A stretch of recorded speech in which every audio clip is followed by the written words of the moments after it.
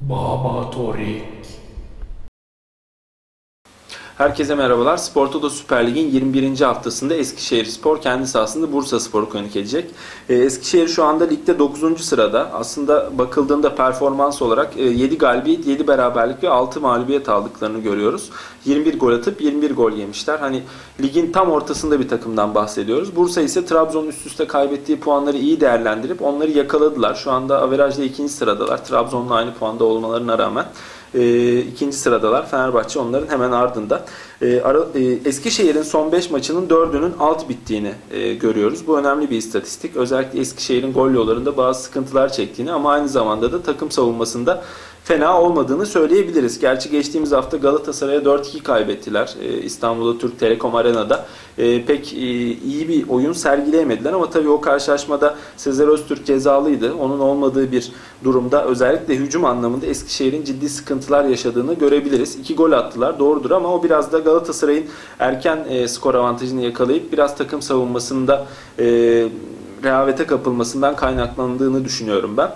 İki takım arasındaki Bursa'da oynanan ilk karşılaşmayı Bursa Spor 2-1 kazanmıştı. 1-0 geriye düşmesine rağmen üst üste buldukları gollerle 2-1 sağdan galip ayrılmışlardı. Ee, Bursa Spor'un deplasmanda özellikle e, gol yollarında sıkıntı çektiğini söyleyebiliriz. İki hafta önce Konya deplasmanında çok fazla pozisyonu dahi giremediler ve gol atamamışlardı. Bu karşılaşma 0-0 bitmişti. Geçtiğimiz hafta da Sivas'ı Gene zor da olsa e, son dakikalarda yeni transfer İskoç golcü Kenny Miller'ın attığı golle 2-1 geçmeyi başarmışlardı.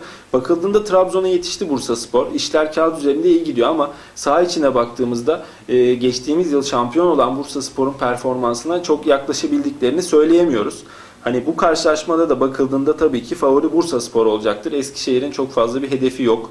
Avrupa kupalarına gitmeleri pek mümkün görünmüyor düşme tehlikesi yaşamaları da şu an için çok fazla mümkün görünmüyor. O nedenle e, maça daha fazla motive olacak taraf Bursa Spor olacaktır. Ama dediğim gibi e, geçtiğimiz haftalardaki sah sahada sundukları performans çok e, tatmin edici performans değil. Bu nedenle ben taraf bahsi olarak Bursa Spor'dan çekiniyorum. E, sistem kuponlarında değerlendirilmek üzere biraz riske gerek bir beraberlik denenebilir. Ee, onun dışında alt üst bahsi olarak e, benim tercihim alttan yana. Çok fazla gol olacağını düşünmüyorum ben. E, çok fazla gol beklemiyorum mücadeleden. E, taraf bahsi olarak da bir beraberlik denenebilir. Baba Torik.